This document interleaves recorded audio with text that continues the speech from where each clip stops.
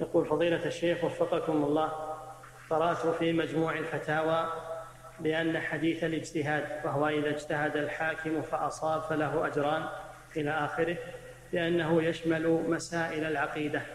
فما وجه ذلك؟ وهل هو صحيح عن الشيخ؟ إيش يقول؟ قرأت في مجموع الفتاوى بأن حديث الاجتهاد أي إذا اجتهد الحاكم فأصاب فله أجران الحديث. لأنه يشمل مسائل العقيدة. فما وجه ذلك؟ وهل هو صحيح عن الشيخ؟ ما أدري. جيب لنا النص تجيب لنا النص آه، آه، كلام الشيخ نشوف